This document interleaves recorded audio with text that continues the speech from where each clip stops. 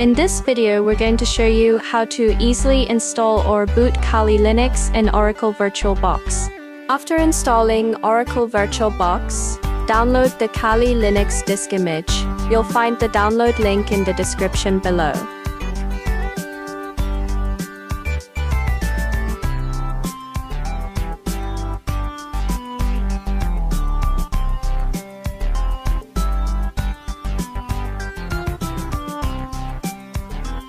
After extracting the Kali Linux image file, wait for the extraction to complete.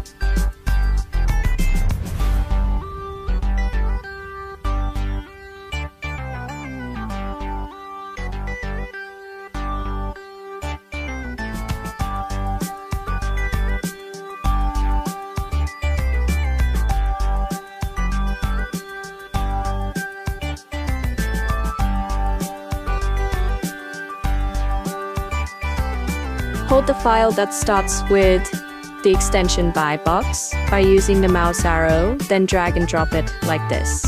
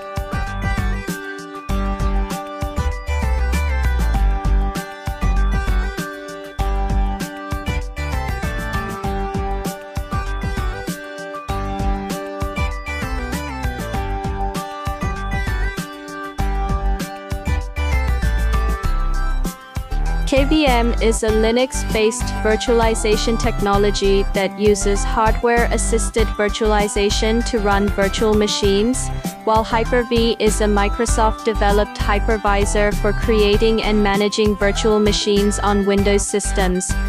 Adjust the RAM and CPU numbers according to your PC's specifications. We already explained this in more detail in a previous video, so we are skipping some of the options here.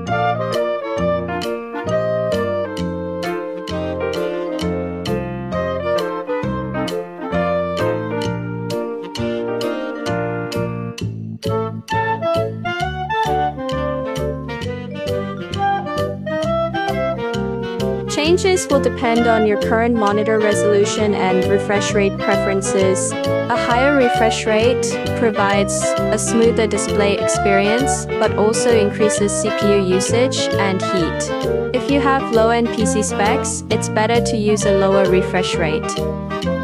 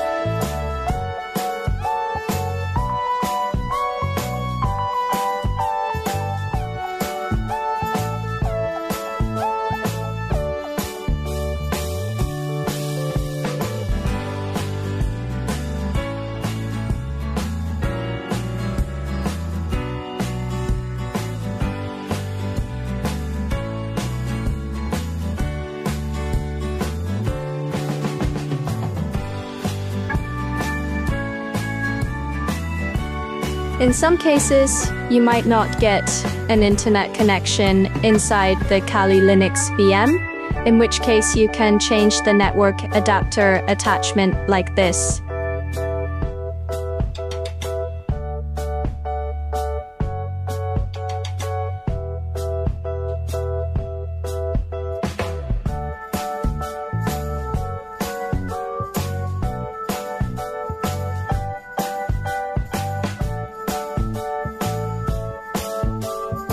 You can also roll back the changes to the network adapter attachment at any time.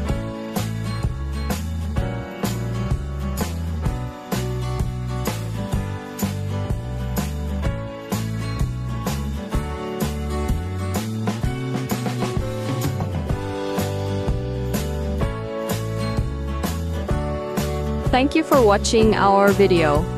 Don't forget to subscribe, like, and comment your doubts and thoughts in the comment section.